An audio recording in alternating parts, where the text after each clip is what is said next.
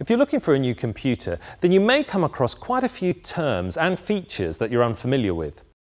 I'm going to go back to basics and start from the beginning, as well as explaining some terms you now may come across. Before we go into anything technical though, have a think about what type of computer you want. Along with PCs and laptops, we've now got netbooks, which are extremely portable, although they only let you do fairly simple things, like browse the web, send emails, or create simple documents. No matter what type of computer you choose, they all share some common features.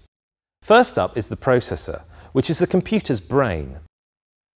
The more things you want your computer to do and the better you want it to do them, the better the processor needs to be. Netbooks have processors which are designed for simple use, whereas PCs and laptops have a wide range of better processors available. For laptops, you'll also find there are now ultra-low voltage processors which give extended battery life. Intel and AMD are the main manufacturers of processors, and each rates their own processors so you can see how good they are. The next thing to look at is the computer's memory, which is called RAM. This is measured in gigabytes, and the bigger the number, the more programs you can have open at the same time, and the faster they'll work. Storage is another thing to look at. This is how much space the hard disk has to store documents, music and photos. Like RAM, this is measured in gigabytes, and the bigger the number, the more you can store. Next, have a think about how big you want your screen to be. If you're planning to do lots of fiddly spreadsheets or play games, then you'll probably want a bigger screen.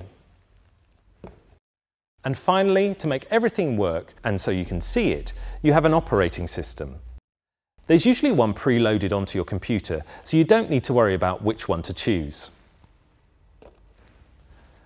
So those are the basics covered.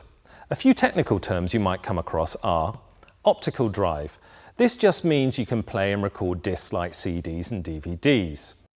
Wireless just means your computer can be set up to automatically connect to the internet without having to plug into a network.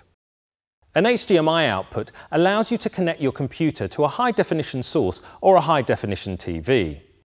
Blu ray, you can only watch Blu ray DVDs on your computer if it says it can do this. If you want to learn more, there's plenty more information on the Comet website.